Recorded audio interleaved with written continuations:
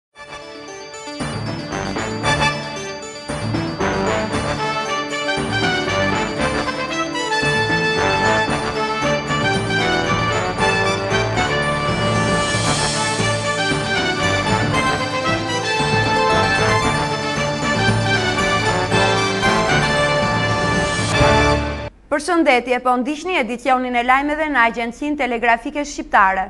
Kryeministri Sali Berisha ka komentuar vendimin e Kolegjit Zgjedhor për Bashkinë e Tiranës, duke e cilësuar atë një vendim të ligjshëm që mbrojti në mënyrën më dinjitoze sistemin zgjedhor të vendit. Në mbledhjen e Grupit Demokrat, Berisha tha se Kolegji vulosi rezultatin e Bashkisë së Tiranës në favor të kandidatit të Aleancës për Qytetarin, Lulzim Basha, i cili mundi me nëntëdhjetë e tre vota rivalin e tij socialist Edi Rama. Thelbi i fitores, theksoi ai, është numërimi i çdo vote dhe kjo ndodh vetëm në vendet demokratike. Kryeministri komentoi dhe rezultatin e koalicionit Aleanca për Qytetarin në rang vendi, që siç u shpreh ai si asnjëherë tjetër në historinë e pluralizmit mori njëqind e dyzet mijë vota më shumë se koalicioni opozitar. Tashmë që procesi zgjedhor ka përfunduar, Berisha ftoi kryesocialistin Rama që të bëhet pjesë e reformës zgjedhore në bazë të rekomandimeve të OSBE ODIHR-it.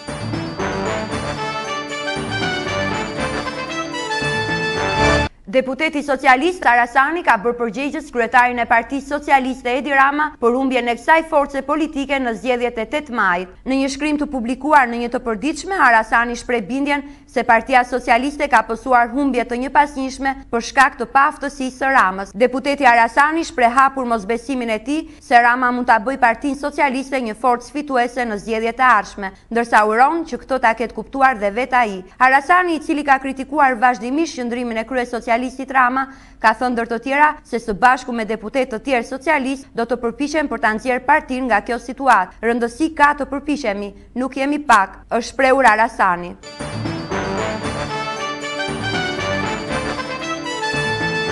Përfaqësuesit e biznesit në Shqipëri kërkojnë uljen e çmimeve të karburanteve. Kreu i Dhomës së Tregtisë, Nikolin Jaka, i pranishëm në prezantimin e skemës së re të pagesës së taksës së qarkullimit, tha se Shqipëria është vendi që ka çmimet më të larta në rajon për karburantet. Jaka solli shembullin e vendeve fqinje dhe theksoi se çmimet e karburanteve ndikojnë direkt në zhvillimin e biznesit. Sipas tij, qeveria duhet të jetë më e angazhuar në stimulimin e industrisë së karburantit. Nga ana e tij, zëvendësministri i Financave, Alfred Rushaj, tha se qeveria ka vënë rregulla të forta për konkurrencën në industrinë e karburanteve, si dhe ka zbatuar projekte që ndihmojnë bizneset prodhuese në këtë sektor. Kjo politikë, sipas tij, ka mundësuar ruajtjen e akcizës në nivele të pranueshme.